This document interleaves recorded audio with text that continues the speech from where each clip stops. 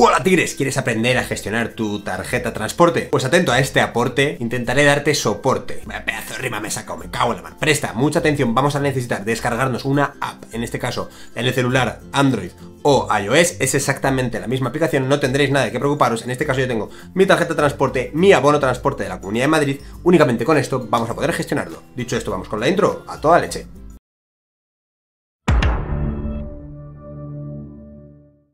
Bien, tigres, pues ya estamos en el celular y en este caso tenéis que descargaros una aplicación concreta. Vamos a irnos al App Store y en realidad hay varias que te permiten, eh, bueno, pues gestionar los transportes y los viajes dentro de estas tarjetas, pero yo os recomiendo que pongáis transporte y luego pongáis Madrid, ¿vale? Un poquito mejor escrito, vamos a ponerlo bien. Y una vez la ponemos, es la aplicación donde pone tarjeta transporte, que es ese de ahí. Yo ya la tengo descargada, vamos a darle a abrir y veremos obviamente las características de esta. Veis que dice listo para escanear. En este momento es en el que nosotros tenemos que acercar nuestro abono transporte al teléfono móvil o bien en la parte de arriba, si eres iPhone, ¿vale? O en la parte de abajo central si es Android, ¿vale? Entonces yo acerco, por ejemplo, mi abono transporte y lo lee Dice que ahí eh, yo lo recargué la última vez hace, bueno, pues la verdad que cuatro años, porque yo el abono de transporte no lo utilizo, compro viajes individuales, pero veis que ahí aparecen los listados de títulos, el último que compré, la verdad es que es brutal, hace cuatro años parezco más viejo, le damos a listado de títulos para recargar y podremos recargar por ejemplo, Metrobús de 10 viajes, Bonobús, etcétera, ¿vale?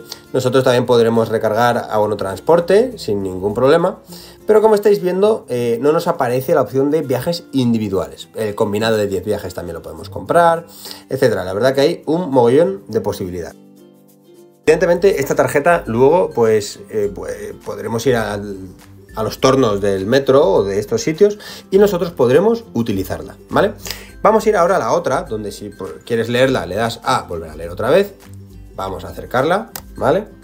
Y una vez la hemos acercado, veis que eh, en este caso es otro tipo de tarjeta, no es la del abono transporte, sino que es la de la que te dan en el metro y veis que no tengo ningún viaje todavía.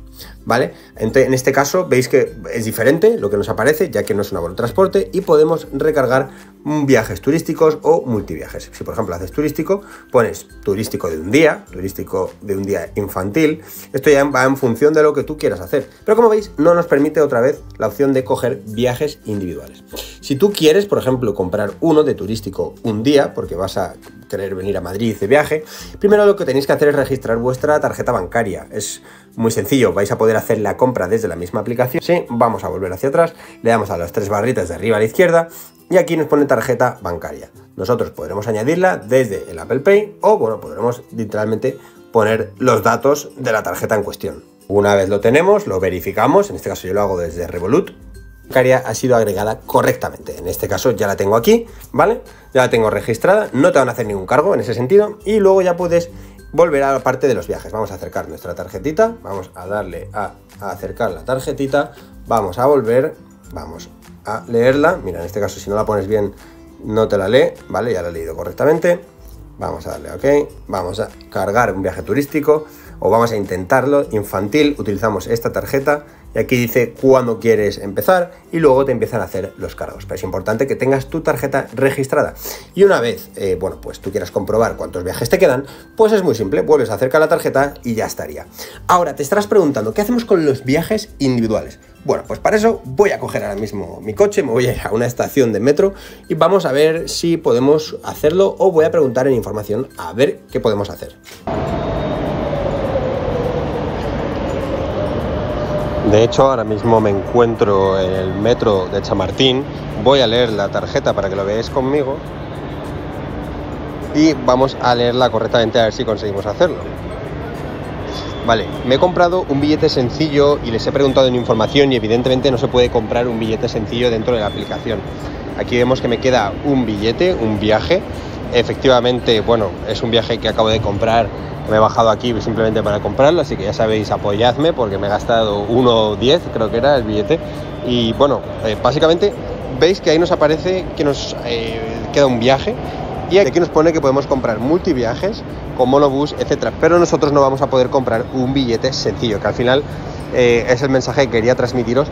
Nosotros vamos a poder ver la información de los billetes que quedan dentro de la tarjeta, pero no vamos a poder comprar un billete sencillo dentro de esta aplicación y de momento no está disponible. Por cierto, se me ha olvidado algo muy importante. Nosotros vamos a tener que diferenciar entre estas tarjetas rojas del transporte de la Renfe, ¿vale? Nosotros esta tarjeta de Renfe, que no sé si está eh, así derecha, bueno, esta tarjeta de Renfe no vamos a poder escanearla dentro de la aplicación, ¿vale?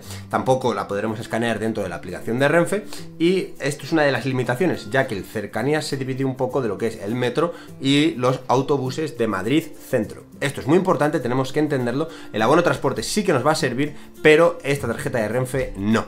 Haz clic aquí si quieres aprender cosas nuevas dentro del teléfono móvil o suscríbete para tener los mejores tutoriales dentro de Espero que os haya nos vemos en el próximo vídeo. Que vaya bien.